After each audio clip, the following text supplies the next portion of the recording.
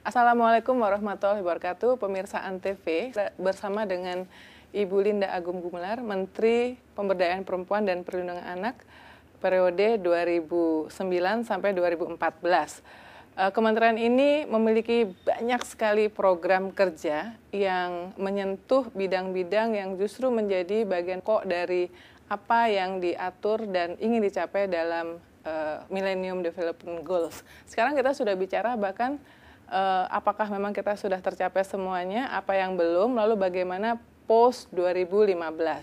Nah, saya ingin mengajak Anda untuk uh, mendengarkan apa sebenarnya yang uh, menjadi pencapaian dan juga yang dirasakan oleh Ibu Menteri belum dicapai dan uh, kendalanya apa. Terima kasih sudah menerima Antv, Bu Menteri. Terima kasih, Lulis. Ya.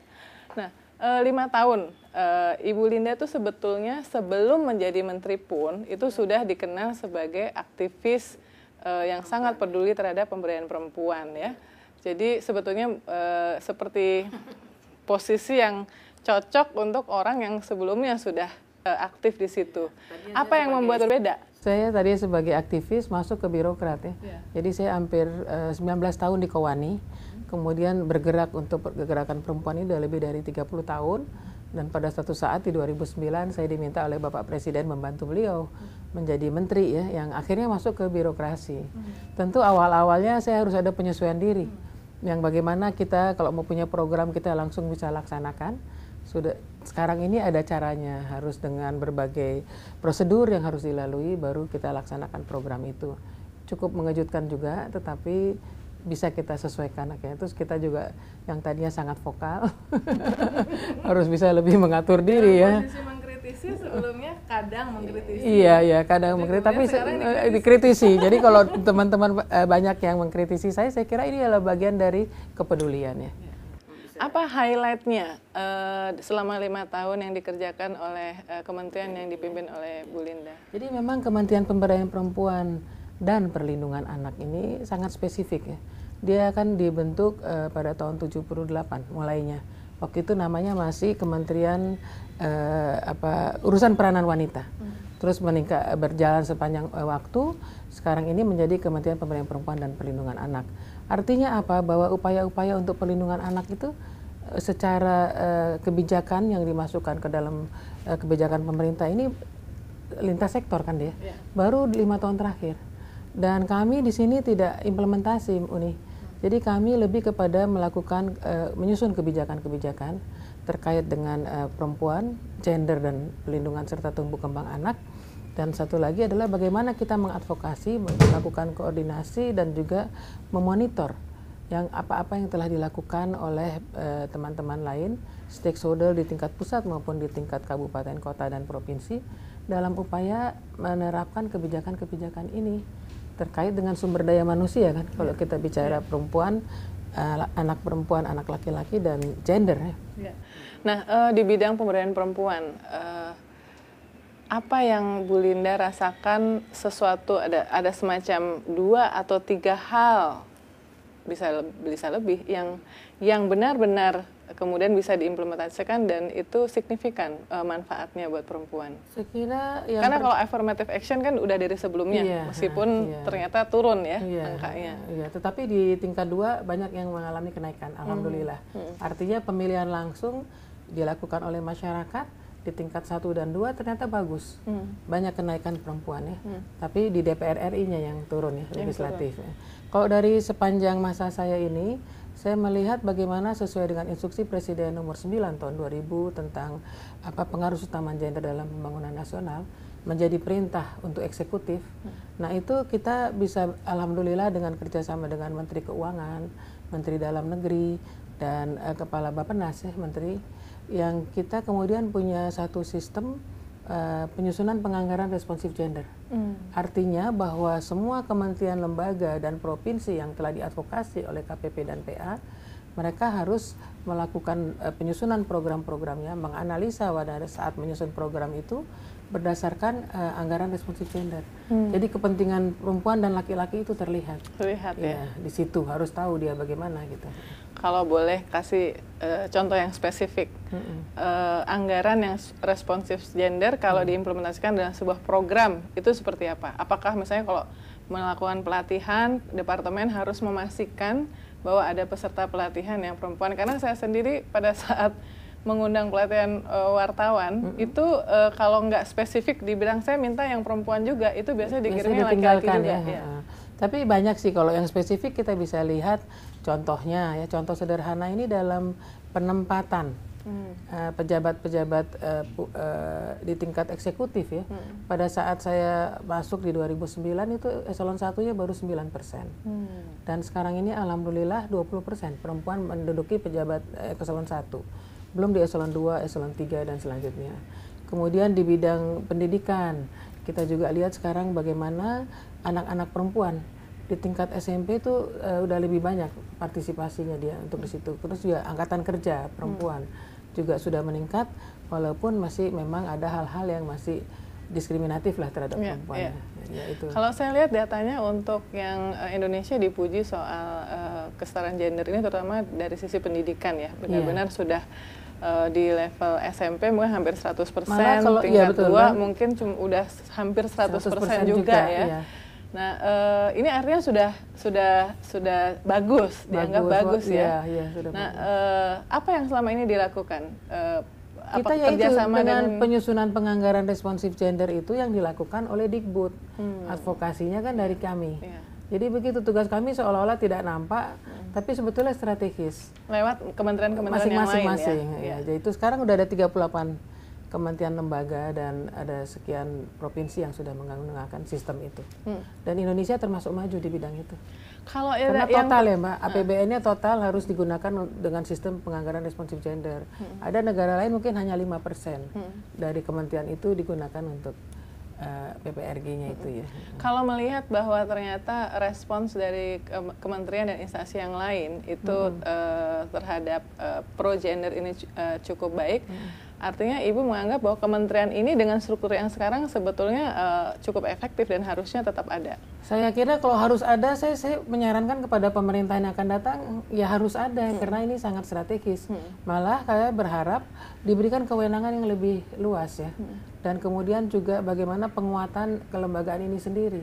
Karena kita menyusun kebijakan, tentu kita membutuhkan eh, tenaga-tenaga uh, ahli. Hmm. Artinya staf kami tentu mesti yang ahli dari ada akademisi hmm. ya, kemudian tenaga-tenaga yang lebih bisa mengadvokasi. Sekarang kita kewalahan, Mbak. Hmm.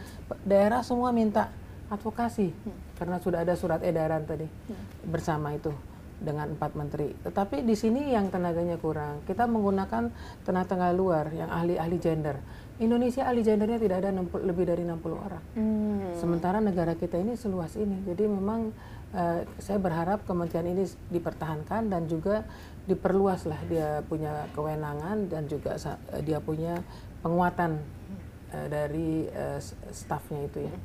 Ketika dulu ada konflik di beberapa bagian dari Indonesia, hmm. banyak sekali kritik uh, kepada pemerintah ya, tentu beberapa tahun yang lalu yang uh, sebaiknya melibatkan perempuan dalam solusi hmm, konflik hmm, hmm, ya karena perempuan di sebetulnya relatif tidak punya kepentingan politik yeah. ya uh, yang dalam konflik itu kan kepentingan politik, politik yang beradu yang dan perempuan ya. dan anak-anak menjadi korban sebetulnya mereka tuh ya? common common hmm. groundnya sama meskipun yeah. suami-suaminya itu ber berhadapan gitu yeah. ya iya. seperti waktu kasus yang di uh, Ambon. yang di Ambon Tarakan ya Nah, uh, apa pengalaman Bu Linda dalam konteks melibatkan perempuan dalam uh, uh, penanganan konflik supaya mereka bisa bisa Mungkin lebih terlibat? secara langsung uh, saya tidak terlibat langsung. Hmm. Artinya kita tentu dengan tangan-tangan Badan PP yang hmm. ada di daerah dan komunitas jejaring. Hmm. Yang saya lakukan adalah bagaimana uh, komunikasi dengan jejaring-jejaring aktivis perempuan ini. Hmm apakah dia organisasi kemasyarakatan atau dia LSM atau dia NGO pejuang perempuan nih itu kami melakukan apa pendekatan kemudian kita selalu berdiskusi dan mereka yang bergerak gitu. dan saya yakin bahwa masalah-masalah konflik ini memang betul kata Uni kalau perempuan yang dimajukan ke depan ini dan mereka saling bicara ini akan menyelesaikan konflik hmm. banyak contoh-contoh yang kita lihat bahkan sekjen PBB ya Pak Ban Ki-moon juga menyampaikan bahwa di misi-misi perdamaian yang dikirim secara internasional itu banyak komandannya perempuan. Karena tadi Uni bilang yang rentan kan memang perempuan dan anak. Hmm, Dengan bahasa perempuan ini mereka bisa merasakan bagaimana eh, trauma yang dihadapi oleh perempuan dan anak. Hmm. Jadi ini salah satu cara. Saya sekarang senang karena Polwan juga ditambah Yoni, Ya, tambah 7.000 tahun ini. Kemudian juga di TNI sekarang sudah masuk di akademi militernya itu perempuan sebagai taruni. Kalau Polwan udah lama, Ya. TNI mulai tahun ini. Ada 16 kalau nggak Ada lebih Lebih ya? 30-an. Oh, 30. Jadi alhamdulillah ini juga salah satu apa, langkah maju dari bidang pertahanan ya Iya. untuk mem- memberikan akses juga lebih besar kepada perempuan. Bagaimana dengan perempuan dan eh, perkembangan ilmu teknologi? Karena kan perkembangan ilmu teknologi ini justru memberikan kesempatan buat perempuan bahkan dari rumah, dari mana saja Bisa tidak harus untuk ya. bisa bisa bekerja dan berkarya. Eh, eh, bagaimana Ibu Linda melihat ini? Eh, kita juga memanfaatkan itu. Artinya sekarang kita lakukan berbagai upaya melalui ada Menkom Info kan. Bagaimana nilai-nilai gender tadi masuk di sana. Kemudian mereka punya program-program terkait pemberdayaan perempuan untuk penguasaan teknologi dan juga bagaimana pemberdayaan ekonomi melalui eh, e-commerce itu ya. E-commerce, ya. Sekarang banyak sekali Uni. jadi iya. kita ikut eh, membantu dalam sisi eh, pemahaman gendernya lah gitu. Kan, Dan kita membantu memfasilitasi antar kelompok-kelompok perempuan dengan kementerian-kementerian terkait. Jadi kadang-kadang kementerian butuh eh, kelompok perempuan mana, nah kami punya ininya, punya komponen-komponen yang bisa kita bawa gitu. Bagaimana dengan eh, masih adanya harapan masih besar harapan bahwa aturan-aturan baik di tingkat pusat maupun daerah yang eh, Diskriminatif yang ya? diskriminatif Itu terhadap persoalan gender, otonomi daerah itu juga Iya, yang kadang-kadang kita sangat daerah. prihatin ya. Artinya bahwa eh, banyak sekali para pengambil keputusan di daerah itu yang memang nggak responsif gender ya. Mungkin ini karena budaya juga. Apa budaya artinya bukan kebudayaan tetapi eh, kebiasaan yang ada di tengah-tengah masyarakat yang menganggap perempuan dan anak itu adalah bukan yang utama, tergantung kepada laki-laki ya yang lebih menguasai mereka berdua ini perempuan dan anak. Ya. Dan kami eh, mencobanya dengan membuka membuat satu pedoman parameter gender bersama Menteri Hukum dan HAM dan Menteri Dalam Negeri. Hmm. Pedoman itu sudah selesai dua tahun yang lalu. Dan, Bentuknya apa? Keputusan menteri. eh, bentuknya keputusan menteri dan ini kita coba untuk digunakan oleh para eh, apa namanya pembuat eh, peraturan-peraturan ya itu kita coba legal drafter sekarang berjalan sosialisasi terus dilakukan malahan sekarang dengan Kemdagri pedoman itu akan lebih diperkuat lagi Mungkin nggak Bu kita melakukan eh, kementerian ini eh, semacam melakukan justru pendekatan ke po- eh, partai politik mengingat bahwa Hmm, politisi-politisi politik ya. di daerah ini kan eh, bagaimanapun sangat bergantung kepada kepada partai Partainya. politiknya gitu. Hmm. Mungkin eh, ke depan perlu partai politiknya yang harus diberikan pemakaman. iya itu yang selalu menjadi apa keprihatinan kita ya.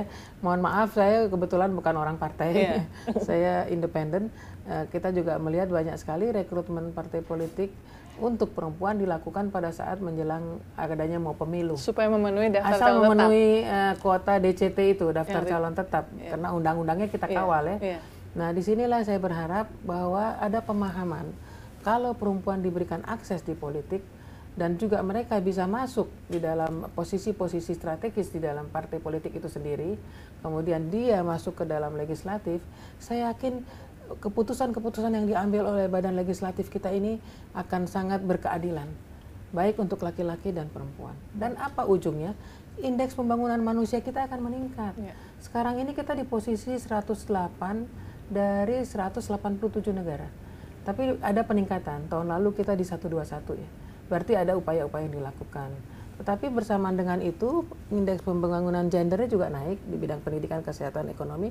Hanya tetap ada jaraknya nih. Artinya pembangunan ini memang belum terlalu diperhatikan kepentingan secara spesifik perempuan dan laki-laki. Kalau- Bagaimana merubah mindset itu?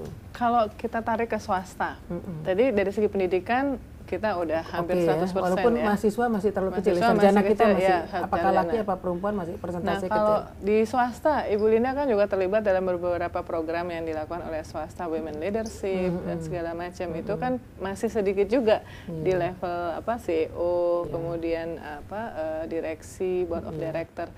Apa yang eh, menurut Ibu kendalanya dan apa yang bisa dilakukan ya? Kalau di swasta internasional kelihatannya udah lebih terbuka ya yeah. mereka. Artinya sesuai kemampuan ya dan juga sesuai kebutuhan itu bersaingnya sehat lah ya. Hmm. Dan juga bagaimana uh, uh, hak-hak perempuan itu diberikan. Tetapi hmm. ini kalau kita lihat di swasta nasional, hmm. mungkin hal ini masih perlu kita dorong. Hmm. Hmm. Sehingga kita juga terus bekerja sama dengan uh, apa namanya masyarakat swasta, dunia usaha untuk memasukkan gender ini dan perlindungan anak hmm. karena perempuan-perempuan yang bekerja ini kan juga dia punya hak-hak lain ya. Yeah. Katanya hamil, melahirkan, menyusui, hmm. ini juga harus diperhatikan kami pun juga bekerja sama spesifik untuk ketenaga kerjaan dengan Menaker Trans. Hmm. Tapi kalau mendudukan di CEO dan sebagainya itu kita hmm. harus langsung ya. Yeah, yeah. BUMN juga udah cukup bagus sekarang, meningkat terus. Mereka di kantor apakah uh, di seluruh kantor BUMN sudah menyediakan misalnya ruang laktasi? Sudah, sudah lebih sudah banyak. Lebih ya? banyak sudah ya? banyak peningkatan. Karena Maksudnya diwajibkan aja bu.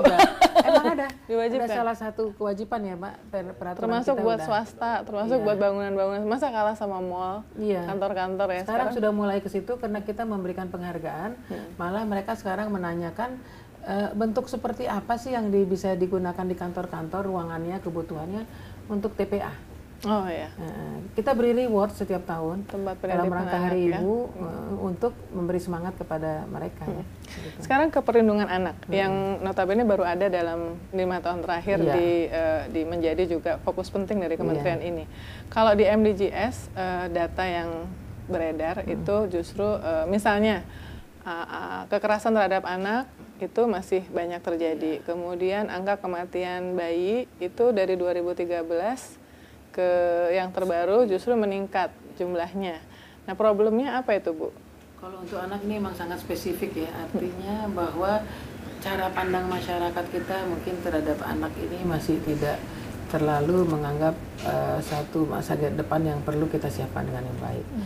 Yang kedua, kematian anak yang tinggi ini kan juga dampak dari angka kematian ibu melahirkan yang yeah. tinggi ya.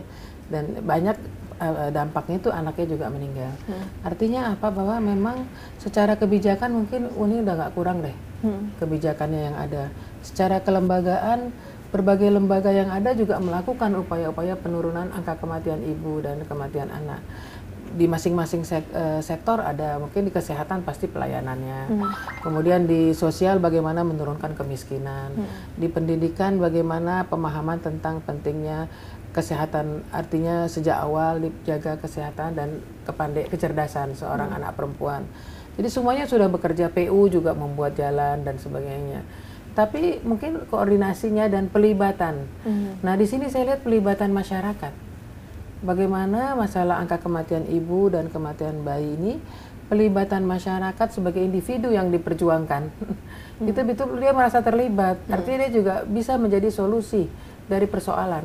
Jangan hanya pemerintah saja.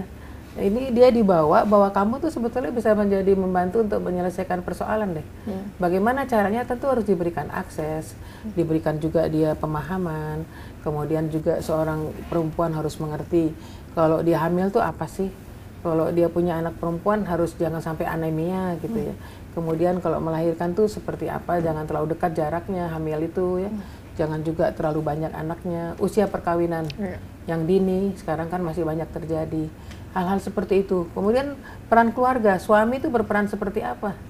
Untuk menolong istrinya yang lagi hamil atau anaknya yang memang lahir dalam kondisi yang uh, beratnya uh, rendah dan sebagainya. Kadang-kadang peran laki-laki itu nggak ada di situ. Hmm. Hmm. sebetulnya ini peran keluarga tanggung jawab laki-laki dan perempuan itu harus dimainkan di situ hmm. makanya gender ini harus masuk di mana-mana kesetaraan gender ini hmm. di semua sektor ya Keseta baga bagaimana melihat kesetaraan gender kementerian ini apakah ya maksud akses yang sama untuk semuanya bagi yeah. perempuan yeah. artinya jangan kemudian banyak yang masih menganggap bahwa kalau kita pro gender itu kemudian itu ancaman buat laki-laki. Itu banyak sekali yang membuat saya Sebenarnya laki-laki juga kemudian membuat benteng. Dia, dia ya, terus langsung ini ya. Makanya perlu uh, apa komunikasi yang baik untuk memberikan pemahaman ini ya. Uh, memang kita tahu undang-undang kesetaraan gender sampai sekarang kan masih belum bisa hmm. di bicarakan ya hmm. itu inisiatif DPR pada masa hmm. ini mudah-mudahan ke depan menjadi inisiatif pemerintah ya untuk bisa saya ketemu, sangat penting ketemu ibu wali kota kan uh, Banda Banda Aceh oh Banda Aceh uh, iya wali kotanya perempuan. sekarang perempuan iya, karena hebat, wali ya? kotanya meninggal nah iya. kemarin waktu ke sana uh, waktu uh, beberapa media saya kemudian pemimpin redaksi Femina mengadvokasi yang Sri itu Sri iya. Lestari iya. yang yang pakai kursi roda dari Sabang ke Jakarta. Jakarta. Ibu wali kota cerita dia udah pernah mengajukan draft kanun kota Banda Aceh sebagai kota ramah gender. Hmm.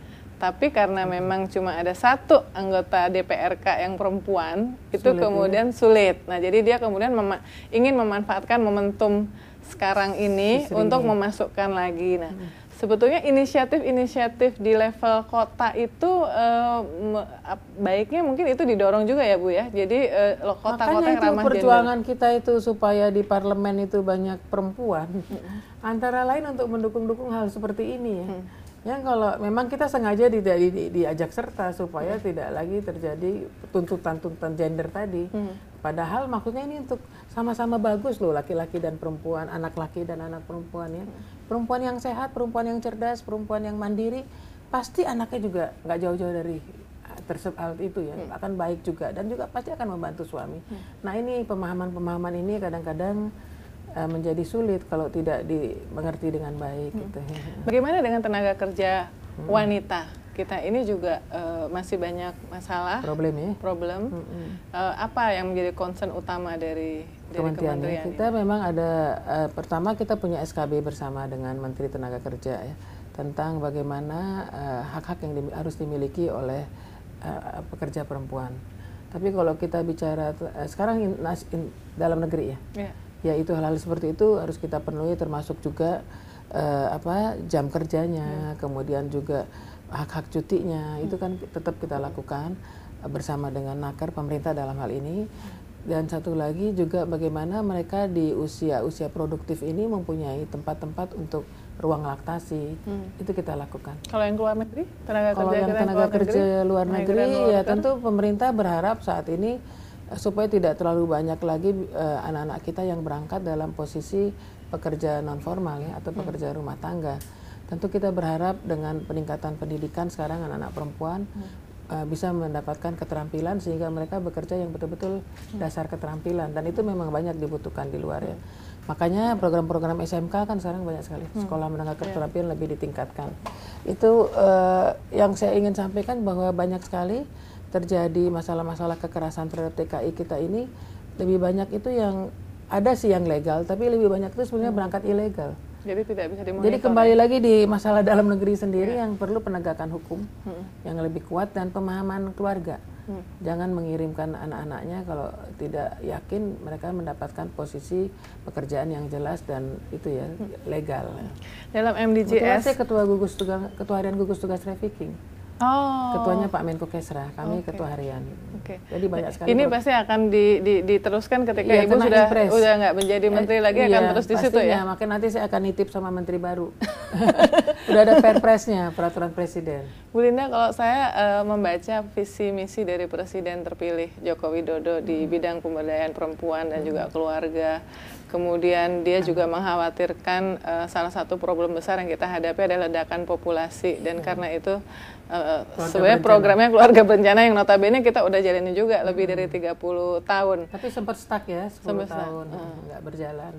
Nah, apa uh, kenapa kok nggak jalan? Apa masalahnya? Apa yang membuat berbeda? Era reformasi kan ada banyak hal yang dilakukan oleh Orde Baru yang tidak dilanjutkan. Jadi lebih karena tidak suka ya, padahal nah, sebetulnya sebetulnya sudah. banyak hal yang baik harusnya dilanjutkan, yang hmm. tidak baik kita hmm. tidak gunakan. Nah, hmm. sekarang kan 10 tahun terakhir ini semua dibangun kembali, hmm. yang memang uh, dianggap ini bisa membantu percepatan penurunan angka uh, kematian ibu, kemiskinan dan hmm. juga menekan kelebatan hmm. penduduk. Dan uh, saya lihat kalau di daerah tuh Bu uh, Uni uh, KB dan pemberdayaan perempuan itu satu satu dinas satu satu badan hmm. badan PP dan KB badan pemberdayaan masyarakat perempuan dan KB jadi kita memang bersama-sama hmm. hanya masalahnya memang di daerah penyuluhnya yang sudah sejak karena 10 tahun uh, tidak mereka terlalu udah aktif mereka udah pindah tempat ya. lain jadi sekarang membangun kembali ya hmm. jadi saya kira dengan adanya kita dengar bahwa akan ada menteri kependudukan dan keluarga berencana mungkin itu salah satu jawabannya. Ya. Mm-hmm. Uh, rekomendasi dari Kementerian Ibu termasuk ibu secara personal dengan pengalaman sekian puluh tahun mm -hmm. uh, menggeluti masalah perempuan dan juga mm -hmm. perlindungan anak. Uh, kalau misalnya bisa di dijadikan lima poin gitu apa gitu yang yeah. yang harus diperhatikan? Yang pertama yang harus diperhatikan adalah penguatan kelembagaan PP dan PA ini sendiri apakah di tingkat pusat maupun tingkat daerah kabupaten kota karena di kabupaten kota itu malah nggak punya anggarannya kecil sekali di kita pun saya juga termasuk yang nomor tiga atau nomor dua dari bawah tapi hmm. tentu bukan menjadi alasan ya hmm. tapi saya kira isu tentang perempuan anak dan gender ini lintas sektor tidak hanya di kesrah hmm. ada di masalah perekonomian ada di masalah politik hukum dan keamanan jadi kewenangan dari KPP dan PA ini harusnya diberikan lebih ya untuk bisa bagaimana mereka bergeraknya lebih uh, kuat ya hmm. dan juga tadi saya sudah sampaikan tentang uh, apa penguatan dari uh, apa sumber daya manusia yang ada karena kita menyusun kebijakan. Kemudian yang kedua tentu saya berharap uh, bagaimana di daerah ini dengan era otonomi betul-betul ada instruksi yang tepat dalam undang undang-undang Pemda kan lagi disusun yeah. sekarang. Saya nggak tahu udah diketok apa belum. Dapat struktur yang baik untuk PP dan PA berdiri sendiri, jangan dititipkan lagi. Hmm. Karena ada terjadi di beberapa ada satu dua kabupaten uh, badan PP, PPPA-nya itu dimasukkan ke dinas sosial. Jadi sama sekali nggak muncul nomenklaturnya. Hmm. Akhirnya bagaimana kita mau bicara tentang pemberdayaan perempuan dan anak gitu ya? Itu di kedua. Jadi perlindungan anaknya juga harus muncul. Hmm. Dan yang ketiga tentu untuk anak secara khusus saya berharap eh, program-program uh, pemenuhan hak anak ini betul-betul didukung oleh pemerintah yang akan datang kita punya konsep kota layak anak hmm. dan saya tahu Pak Jokowi paham betul tentang kota layak anak itu Bapak Presiden kita yang akan datang mudah-mudahan ini bisa di, diimplementasikan, uh, di, ya? diimplementasikan di seluruh kabupaten kota ya. Mm-hmm. ya. Saat ini kita sedang merevisi Undang-Undang Perlindungan Anak oh, okay. bersama DPR nih mungkin uh, satu dua hari ini atau minggu depan akan diketok ya, Pak. Mm. Di situ banyak sekali hal-hal yang menyangkut tentang uh, konvensi hak anak pemenuhan anak dimasukkan. Hmm. termasuk peran media. Ah, nah hmm. itu nanti pertanyaan terakhir. Tapi hmm. tadi baru tiga bu. Kayak yang keempat apa? Yang pertama yang kelembagaan kedua hmm. yang di daerah itu ya, ya. uh, karena kalau perubahan mindset ini kan yang sebetulnya sih paling penting itu perubahan mindset. Dan saya melihat ini ada satu satu ruang di mana kita bisa merubah mindset masyarakat ini melalui keluarga Nah ini sekarang persoalan keluarga, semua bicara keluarga, tapi nggak ada payungnya. Hmm. Artinya siapa sih yang menangani soal keluarga? Yeah. Kan nggak ada. Jadi kalau keluarga berencana mah tentang soal mental, family planning ya. Jadi sebenarnya kalau revolusi mentalnya itu Harusnya juga termasuk keluarga. ke situ ke keluarga. -hmm. ya. Tapi siapa sekarang yang menangani itu? Kami hmm. udah ada undang-undang kependudukan kita keluarkan peraturan menteri tentang implementasi ketahanan keluarga. Hmm. Nah, tapi kan ini harus diperkuat di implementasinya seperti apa ya. Oke. Okay. Uh -uh. Oke. Okay. Saya berharap sih keluarga ini menjadi isu yang kuat nih ke depan. Yang kelima? Karena banyak-banyak uh, negara lain mereka nyebutnya keluarga. Hmm. Yang kelima? Yang kelima tentu saya berharap uh, apa ya apa-apa yang telah dicapai oleh pemerintah sekarang. Bisa dilanjutkan oleh pemerintahan yang akan datang. Nggak perlu dibongkar semua Jangan, ya. Enggak. Yang baik-baik teruskan, yang kurang baik tinggalkan. Ya. Ya. Khusus untuk perempuan dan anaknya. anaknya. Peran media dalam soal mendorong pemberdayaan perempuan dan juga perlindungan anak menjadi perhatian serius dari yeah. masyarakat dan keluarga. Bagaimana? Uh, ya, saya kalau bicara media, ini pasti media macam-macam ya, mau cetak, elektronik, mau apa ya, media sosial.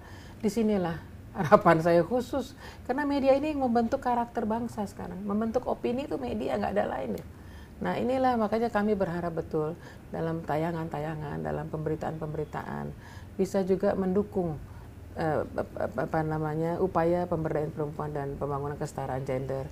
Khusus untuk anak memang di dalam undang-undang perlindungan anak kami masukkan tentang apa rencananya akan masuk sesuai dengan konvensi hak anak itu bagaimana media juga memberikan informasi yang membangun dan juga mendidik kepada hmm. anak-anak. Hmm. Anak itu kan 18 tahun ke bawah. Yeah. Nah, yeah. Kami terima kasih kepada media-media yang selama ini sudah uh, melakukan dorongan-dorongan seperti itu ya. Media kontrol juga tetapi tentu harus juga berimbang dengan edukasinya ya. ya. Baik, uh, terima kasih Ibu Menteri uh, Linda Agung Gumelar atas waktunya dan kami mendoakan agar di mana pun Ibu nanti berkiprah tetap sukses, punya komitmen yang sama, semangat ya. Insya Banyak Allah. sekali bidang yang Ibu tekuni selama ini. Demikianlah pemirsa, terima kasih atas perhatian Anda. Assalamualaikum warahmatullahi wabarakatuh. Terima kasih Pak. kasih